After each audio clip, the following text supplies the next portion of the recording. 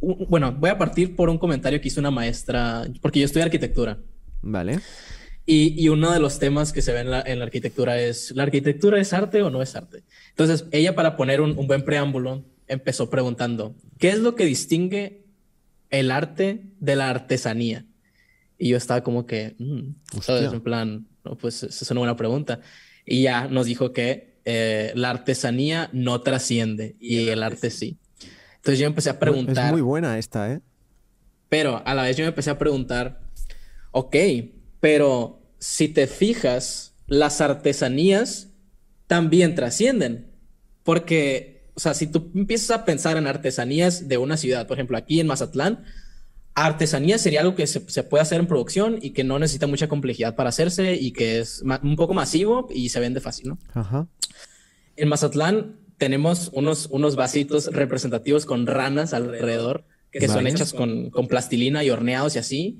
Y tenemos también la típica taza de barro que dice el nombre de tu ciudad o, de, o del sitio turístico donde estás visitando. Y yo me quedé, pues, o sea, la artesanía entonces también tiene un punto de trascendencia sin llevar a cabo el, el, el personaje detrás, ¿no? Pero ahora yo me pregunto, ¿en la música esto existe?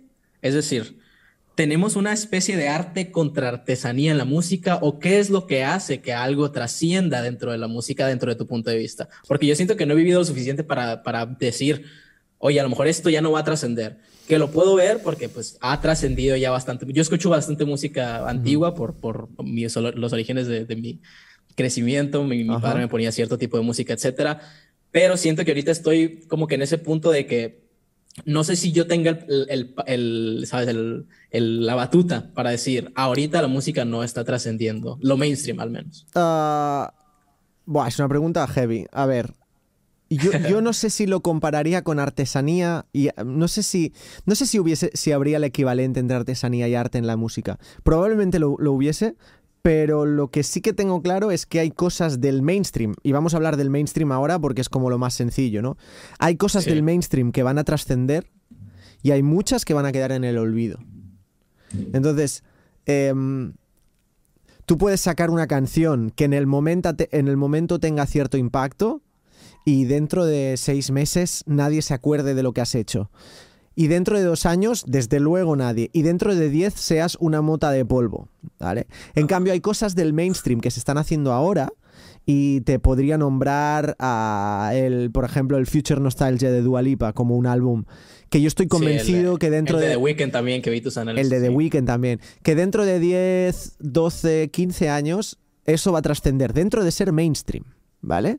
Entonces, no sé hasta qué punto compararlo con artesanía y arte, es decir, no, no, sabría cómo diferenciarlo, pero sí que creo que hay ciertas personas que han innovado, que han hecho algo...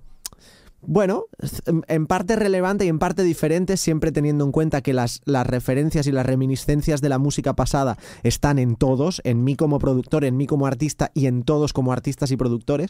Pero bueno, que, que llegan a un punto en que lo que hacen es como ya no te digo una mejora, sino una, una variación de algo que ya hemos escuchado, pero que trasciende. En cambio, hay muchas otras cosas que yo escucho hoy en día y que analizo para mi canal que tengo muy claro que lo vamos a escuchar hoy y pasado mañana y yo no me acordaré de qué es eso.